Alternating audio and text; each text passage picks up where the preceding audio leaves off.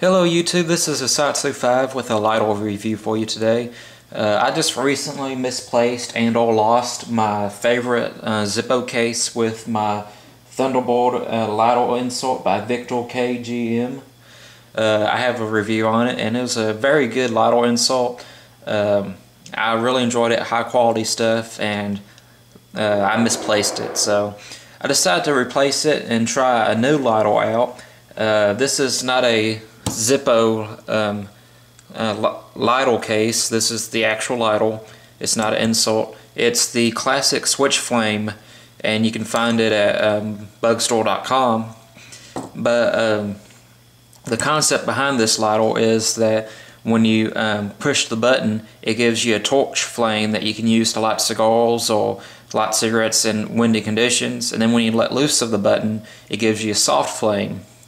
Now, um, I first got this and um, had fun playing with it for a while, but I noticed that the quality wasn't all the way there. In fact, when I can shake it, you can probably hear what's going on. You know, it rattles. I don't know if you can hear that.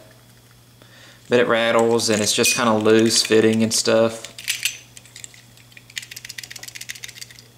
And um, I had fun playing with it. But then um, it started getting real inconsistent and unreliable. And then um, it got, well, it wouldn't light at all.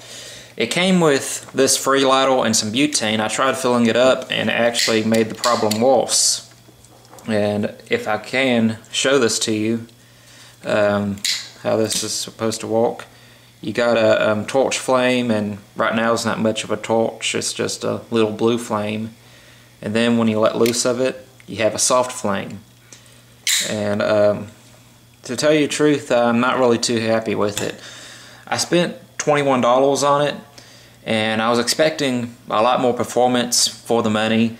Um, you know, you can buy fairly cheap, um, reliable um, butane lighters, uh, you know, torch lighters for around 20 bucks, and I was expecting that much from this lighter. But um, now it's not even lighting with the button. It tried to light. But like I said, when I first got it, it was real rattly. Um, and that's not just an insult, that's actually screwed into the lighter.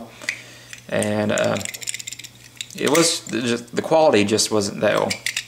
So I think I'm going to replace my um, Zippo with a new Zippo case and a other um, Thunderbolt lighter insert and use that instead. So I thought I'd just let you know um, in case you're interested or considering buying one of these. Hey, it actually lit that time. what do you know? But that's how it's supposed to walk. And as you can see through this um, uh, review, it was just completely in, unreliable.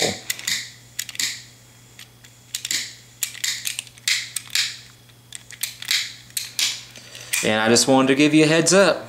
Not everything I get is a home run. And this is just one of those items that you come across ever so often that you spend the money for and you just don't get your money's worth out of it.